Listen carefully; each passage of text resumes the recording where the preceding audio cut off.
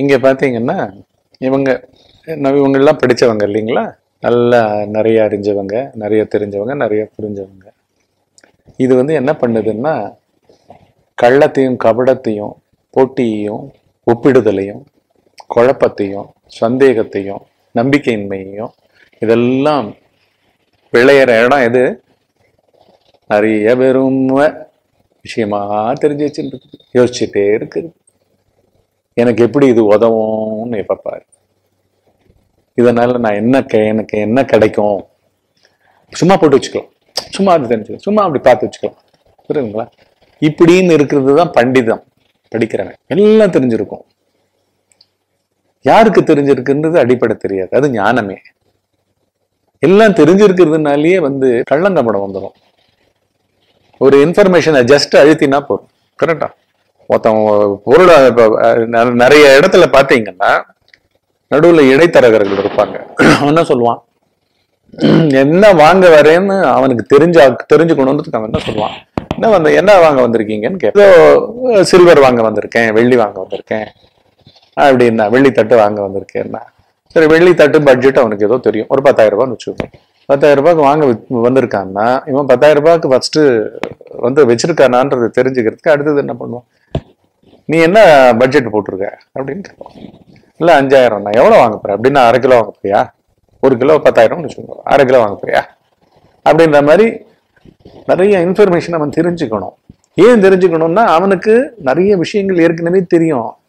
ஐயாயிரம் ரூபாய் அவன் வச்சிருக்கான்னு தெரிஞ்சுதானா? அட்லீஸ்ட் ஒரு பத்து பர்சன்ட் தனக்கு கிடைக்குமா? அஞ்சாயிரம் இப்போ இப்போ மார்க்கெட் ரேட்டு மூவாயிரம் தான் வச்சுக்கோங்க. அரை கிலோ ஆறாயிரம் ரூபாய் மொத்தம் ஒரு கிலோ தான். இவனுக்கு அந்த ரெண்டாயிரம் ரூபாயில ஆயிரத்தி ஐநூறுரூவா கடைக்காரனுக்கு கொடுத்துட்டு ஐநூறுரூவா அவன் வாங்கிக்கிறதுக்கு அந்த மாதிரி கடையை அவன் தேர்ந்தெடுக்கிறதுக்கு அவனோட இன்ஃபர்மேஷன் உதவுதா இல்லையா? இதுதானே புரோக்கர் இதுதானே இடைத்தரகர். கரெக்டா உங்களுக்கு இன்ஃபர்மேஷன் இல்லை. எல்லாத்துலயுமே இன்ஃபர்மேஷன் இல்லை. இன்னைக்கு அதுக்கு என்ன மார்க்கெட் ரேட்டுன்னு தெரியாது. எங்கெல்லாம் அது கிடைக்குதுன்னு தெரியாது. எவன் வந்து மார்க்கெட்ல ஓரளவுக்கு மினிமம் லாபத்துல வைக்க எவனுமே லாபம் இல்லாம இருக்க மாட்டான். அதுல மினிமம் லாபம் வச்சுட்டு நல்லவனா நேர்மையா விற்கிறவன் யாருன்னு தெரியாது. இவனுக்கு எல்லாம் தெரியும். இவன் இந்த இன்ஃபர்மேஷனையும் யூஸ் பண்றானா இல்லையா? நம்மளுடைய அறிதல் தெரிதல் புரிதல் எல்லாம் நம்ம கிட்ட யூஸ் பண்றது யாரு தெரியுமா? இந்த இடைத்தரகர் போல இருக்கிற நான். அதனாலதான் ஆ, அதனாலதான் நீங்க பாத்தீங்கன்னா சின்ன பசங்களுக்கு கூட லஞ்சம் கொடுக்க வேண்டியதா ஏ கடைக்கு போயிட்டு வாடாண்ணா எனக்கு என்ன கொடுப்பேன் நான் வாங்கிக்கிட்டுமா இது?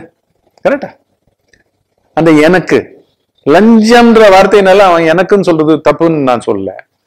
அது வந்து நம்மள வந்து ஒரு மிஷின் மாதிரி ஆக்கியிருக்கா இல்லையா? இதுக்கு இதுதான் யோசிக்கிறதான் இதுதான் அந்த விஷயங்களை வச்சுக்கிட்டு இருக்கான். இதுக்கு லாபம் வரணுமா? இல்லாட்டி கமிஷனாவது வரணுமா? புரியுதா? அப்படின்னா அது பேர் என்ன?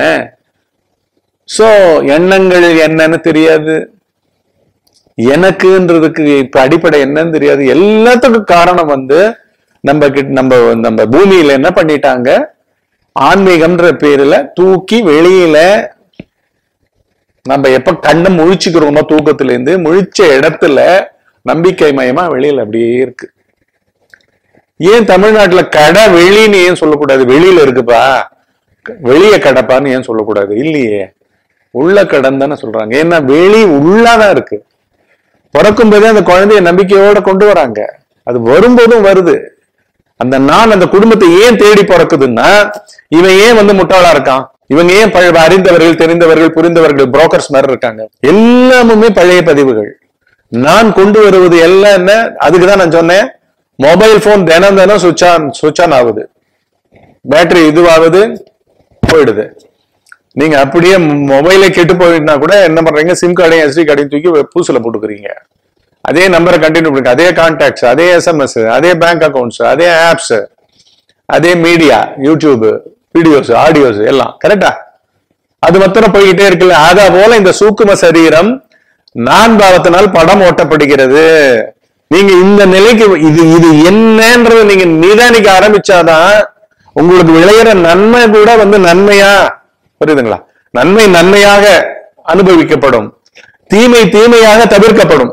கரெக்டா இத பத்தி இதுக்கு யோசிப்பான எண்ணங்களே நிறுத்துவோமா இல்லையா? நீங்க சாஃப்ட்வேர்லயே கரெக்ஷன் பண்ணீங்கன்னா நல்லது நடக்குமா இல்லையா? உடம்புக்கு நல்லது நடக்குமா இல்லையா?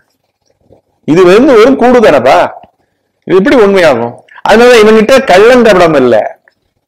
இன்ஃபர்மேஷன்ஸ் கிடையாது. குழந்தை மாதிரி இருக்கான் வளர்ந்துருக்கானே தவிர குழந்தை மாதிரி இருக்கான். நம்பிக்கை மயமா இருக்கான். காளியன் தினம் ரிலேட் பண்றான் உறவு கொள்றான். வெறும் சிலையா பார்க்கல உண்மை உணவா பார்க்கறான். இவங்களுக்கெல்லாம் மறந்து போச்சு. எப்போ விஷயங்கள் மயமா நான் பாவம் இருக்கோ என்னுடைய பாவம் இருக்கோ அங்க அன்பு இருக்காது. பாசம் இருக்காது கருணை இருக்காது நேசம் இருக்காது மனித நேயம் இருக்காது ஜீவகாருண்யம் இருக்காது. எல்லாம் பொருள். ஏ நானே கஷ்டப்படுறேன் உனக்கு என்னடா? கரெக்டா பொட்டி பொறாமை. சண்டை சச்சரவு. அன்பே இருக்கிறது சான்ஸ் இல்லையே. என்ன வந்ததுன்னா அங்க அன்பு இருக்காதே. இடம் போட்டு என்ன கஷ்டப்படுற மாதிரி நடிக்கிறான் போல் இருக்கு. இப்படிதான் ப்ரூவ் பண்றது ஒருத்தரை. புரியுதுங்களா? இவன் ஆனா இவங்க எல்லாம் எடுத்ததெல்லாம் பால். விழுத்ததெல்லாம் பால்ற மாதிரி பார்ப்பாங்க. ஏமாறவே ஏமாறுவாங்க. இவன் ஏமாற்றப்படுகிறானா இல்லையா அப்போ? ஆனா என்ன இப்பேற்பட்ட நன்மை விளைவிடுது ஏன்னா அப்படிதான் பிறப்புல இருந்து ஒரு நம்பிக்கை ஒண்ணு வரும். அதுக்கு படிப்பு தேவையில்லை. அந்த நம்பி சி எல்லா படிப்பும் எல்லா நம்ம உலகத்துல கத்துக்கிற அத்தனை கல்விகளும் இந்த நம்பிக்கை வளர்க்கறதுக்கு தான். இந்த நம்பிக்கை இல்லைன்னா அந்த படிப்பு தேவையில்லை. ஏன்னா இந்த இந்த மாதிரியான கற்ற கல்வியில அன்பு இருக்காது. வஞ்சம் இருக்கும். துரோகம் இருக்கும். போட்டி இருக்கும். கூட இருந்து நான் இவன் புரோக்கரா இருப்பான். ஒரு பார்ட்டி கிடைச்சிருச்சுன்னா நாலு பேர் கூட வருவான். கரெக்டா ஏய் என்னடா என்னடா, அவனுக்கு அவனுக்கு மறைக்கணும். அவங்ககிட்ட சொல்லாதீங்கன்னு சொல்லிட்டு என்னமோ அழிச்சிட்டு போவான். மொத்தத்தில் இவனை எவ்வளவு மஃபாக்கணுமோ இவனா இவனை மற்றவங்க ஆக்குவான் கிட்ட இருந்து தப்பிக்கிறதுக்கு என்னென்னலாம் பண்ணணுமோ அத்தனை இது- இதுவும் பண்ணுவான். இதெல்லாம் வந்து இந்த உலகம் வந்து என்ன பண்ணுது? இப்படிதான் வாழணும். இதுதான் சாமர்த்தியம். புத்திசாலித்தனம். புரியுதுங்களா? புத்திசாலித்தனம். இவங்க எல்லாம் யாருங்க ஆக்சுவலா இங்கிலீஷ்ல சொல்லுவாங்க ஒயிட் காலர் ரவுடிஸ்னுவாங்க கரெக்டா ஒயிட் காலர் ரவுடிஸ்னு வாங்க ரவுடி தான். ஒயிட் காலர் இங்கிலீஷ் இங்கிலீஷ் பேசுறாரு. உங்களுக்கு பேசினோடனே உங்களை அதிர வைக்கிறாரு. அப்படிதானே தாமாக பண்ணும் தாமாக பண்ணும் தாமாக பண்ணும்னு. ஆக்சுவலா தாமாக செய்கிறது இது. அவ எடுத்துக்கிறா காளி எடுத்துக்கிறா.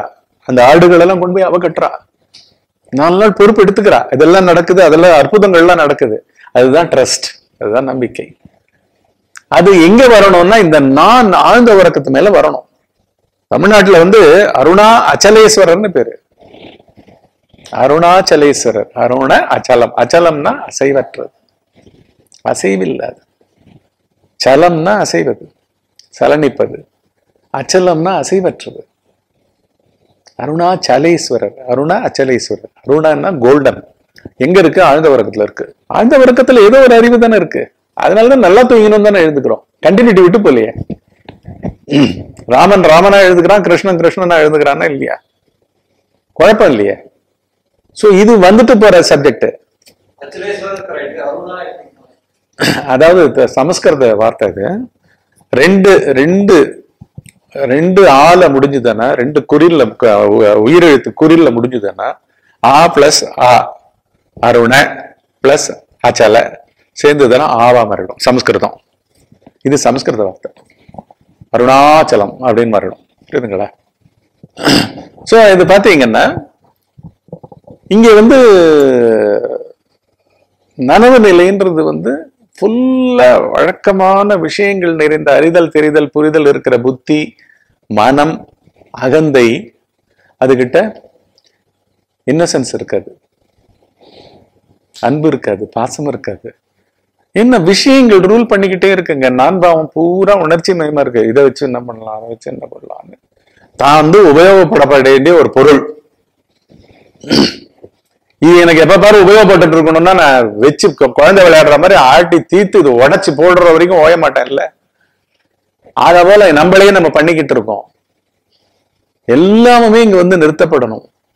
ஆனா உலகம் வந்து இதை சிம்மாசனத்துல உட்கார வச்சிருக்கு. புத்திசாலித்தனத்தையும் பெரிய பெரிய சொற்பொழிவுகளையும் காலட்சேபங்களையும் கரெக்டுங்களா இங்க வந்து இவன் நுட்பமா அந்த நம்பிக்கை மயமாக காளி கிட்ட ரிலேட் பண்றான். அவகிட்ட சொல்லிட்டு போறான்.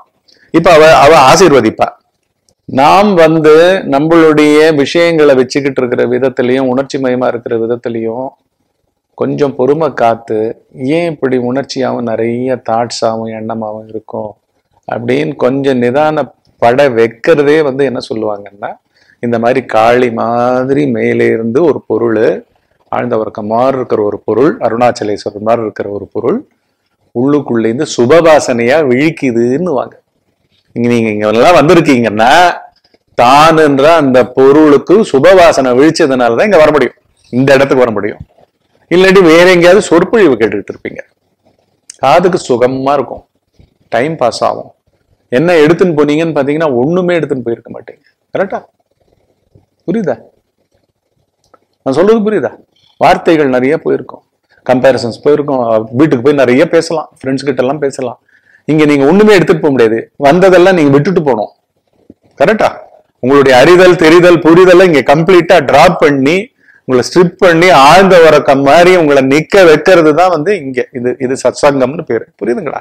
அதை தான் இப்ப பண்ணிக்கிட்டு இருக்கோம். இப்ப வந்து க- இந்த மாதிரி சுபவாசனை விழிச்சாதான் இங்க வர முடியும்.